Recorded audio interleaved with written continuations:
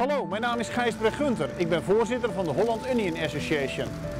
Ik neem u graag mee naar de Hollandse akkers waar op dit moment hard gewerkt wordt om de Hollandse uien binnen te halen. Hollandse uientelers weten als geen ander wanneer de bol van het uiengewas goed afgerijpt is om te worden geoogst.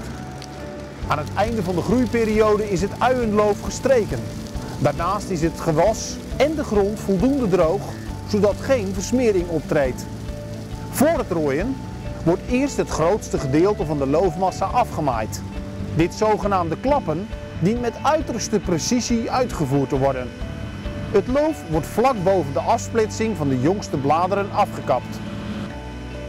Hollandse telers zijn meesters in egaal klapwerk. Te kort klappen maakt de hals van de bol kwetsbaar en geeft ziekten en plagen een kans om de bol te infecteren. Te hoog klappen maakt het latere droogproces en uitschuren lastig. Na het klappen worden de Hollandse uien gerooid. De geavanceerde rooimachines zijn volgens technische specificaties van de teelt geconstrueerd. Valhoogtes worden beperkt en beschadiging van de uienbol wordt vermeden.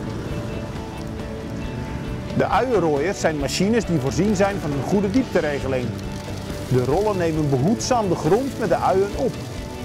Deze grond wordt direct in de rooimachine afgeschud, zodat de uien netjes schoon opgeladen kunnen worden. Timing is alles en dat hebben de Hollandse telers perfect in de vingers.